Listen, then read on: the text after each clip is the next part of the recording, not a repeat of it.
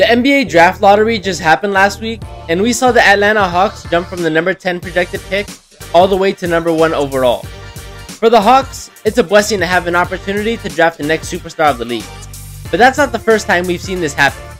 Here in this video, I'll go over 5 different times where NBA teams have jumped to number 1 overall and what happened to those teams. The NBA draft lottery has existed since 1985, where it sparked controversy as soon as it was born. David Stern got the Knicks to draft Patrick Ewing with the number one overall pick in 1985, and everybody has something to say about that frozen envelope. But the Knicks only jumped up two spots, going from number 3 to number 1. It was what happened in the next year's draft that was even crazier. Before we talk about the 1986 NBA draft, we have to go all the way back to 7 years ago. In 1979, the San Diego Clippers traded their 1986 first round pick to the Philadelphia 76ers for none other than Joe Bryant, Kobe Bryant's father. Nobody thinks anything of it at the time, as the pick is for 7 years in the future. Fast forward 7 years, and the Clippers end up with the 6th worst record in the league, putting them in the newly created draft lottery. The lottery happens, and the Clippers end up with the number 1 overall pick. But hold up. They traded that pick 7 years ago to the 76ers. So the 76ers end up with the number 1 pick after finishing with an outstanding 54 and 28 record. The Sixers are in win now mode, and this draft class was disappointing compared to the past drafts. So they trade the pick to the Cleveland Cavaliers for Roy Hinson and cash. The Cavaliers end up drafting Brad Daugherty with the number one overall pick, who turned out to be a solid player, making five All-Star teams, averaging 19 and 9 for his career. They also drafted Ron Harper with the eighth pick, a pick they bought for $500,000 since their previous owner traded all their picks. Unfortunately, Injuries in his back cut Brad's career short, limiting him to only 8 seasons, and the Cavs traded Ron Harper shortly after a great rookie season. For a number 1 overall pick that jumped up 5 spots and was traded twice, this 1986 draft was a hectic one. Fast forward 7 years later, and we come across another team that jumped up the draft lottery. The Orlando Magic had entered the Shaquille O'Neal era in the 1992-93 season, drafting him with the number 1 pick in the last draft.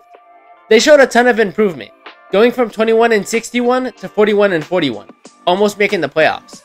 With a 1.52% chance of getting the number one pick for this year, the Magic began scouting for players that would be available around the 10th pick. But it turns out luck would be on their side, because they would jump from the projected 11th pick all the way to number 1. Magic fans rejoiced as they had a chance to pair their generational superstar with another superstar in the number 1 overall pick. They used that pick to select future Hall of Famer Chris Webber, but would shortly trade him to the Golden State Warriors for the third overall pick Penny Hardaway and three future firsts. The Magic paired Shaq and Penny together to create this dynamic duo that would make the NBA Finals two years later, but would get swept by the Rockets and would later not re-sign Shaq. The Warriors, on the other hand, struggled coaching Chris Webber, and Chris Webber hated the team, so he became a free agent after his first season there due to an escape clause in his contract and joined the Washington Bullets. He went on to have a Hall of Fame career with the Wizards, Kings, Sixers, and Pistons. So even though it didn't lead to a championship for either team, it showed a lot of teams that it wasn't important to tank for the first pick, because it's not always guaranteed. The next time something like this would happen would be 15 years later. The Chicago Bulls have been a mess ever since the Jordan era. They tried so hard to find the next Michael Jordan, but that was impossible, as they drafted bust after bust each year. The 2008 Chicago Bulls had just finished with a 33 and 49 record, having a super young roster that consisted of rookie Joakim Noah and Luol Deng, while also having that veteran leadership in Ben Wallace and Larry Hughes. The Bulls had a 1.7% chance to get the number one overall pick this year, and because it hadn't happened in so long, it seemed like jumping up in the draft was not going to happen. But lo and behold, the NBA wants to get this team back on track, so they're gifted with the number one pick for the 2008 draft. Who's in this draft, you might ask? Oh, just the youngest MVP in league history and the Chicago native Derrick Rose. Rose took the league by storm, winning Rookie of the Year honors and winning MVP in his third season at 21 years old. From this jump to number one overall, Rose led the Bulls to their best season since Jordan, having a 50 and 16 record and hopefully leading the Bulls to the NBA Finals. But Tom Thibodeau loves to abuse his players and play them 40 minutes a night when they don't have to. So Derrick Rose tears his ACL late in a playoff game that would derail his career. It sucks to see that if Thibodeau just pulled Rose at the game, we could have seen a greater career from the former number one overall pick. We go to three years later to one of the most stacked draft classes of all time in 2011. But before I get to the draft, we gotta backtrack a little bit. Later on in the 2010-2011 season, the Clippers trade Baron Davis and their first round pick to the Cavaliers for Mo Williams and Jamario Moon. The Clippers wanted to get Davis's contract off the books as it was too much and he was looking past his prime, hence why they needed to add the first round pick. But what they didn't know was how valuable that first round pick would actually be. The Clippers had the 8th best odds at getting the number 1 pick, having a 2.8% chance. But of course, in storyline fashion, the Clippers pick jumps up to number 1 in the most stacked class in recent history. But remember, the Clippers traded the pick to the Cavs earlier in the season to get rid of Baron Davis. So now, the Cavs have the number 1 pick as well as the number 4 pick just the year after losing the hometown kid, LeBron James.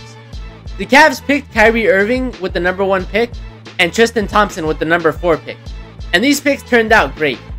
Yes, the Cavs could have drafted Klay Thompson, Kawhi Leonard, or Jimmy Butler with the number 4 pick instead of Tristan Thompson, but who knows if those players turn out the way they are now. But that's not the end of the story. The Cavaliers have yet to do anything with Kyrie at the helm. So three years later after they selected him, they get the number 1 pick again in the exact same fashion. The Cavs jump up from number 9 to number 1 select Andrew Wiggins with the first pick, and trade him to the Timberwolves for prime Kevin Love. Kyrie Irving has turned out to be one of the greatest guards of this generation, and is the holder of one of the most iconic shots ever in basketball history, while Tristan Thompson was a good role player for the Cavs. With the past teams I've mentioned, they can never make that jump to a championship with their number one pick, but this one did. The Cavaliers won the 2016 NBA championship thanks to LeBron James coming back and Kyrie Irving hitting a sidestep 3 in Game 7 to ultimately seal the deal. So let's recap. The Cavs got the 2011 number 1 overall pick from a trade with the Clippers that was supposed to be around 8 or 9. They select Kyrie Irving with that pick. Three years later, the Cavs get the number 1 pick again, that's supposed to be 8 or 9 again, and they use that to get Kevin Love, a key piece in their 2016 championship roster. That's what's supposed to happen when your team jumps up to number 1 overall. The draft lottery has been one of the best things the NBA has done, preventing teams from tanking to get the number one pick. And there's a lot more instances where teams have jumped up in the draft lottery, just not to number one. Let me know what you guys think in the comments. All that being said, I hope you guys enjoyed the video. Please like and subscribe, and I'll talk to you guys later.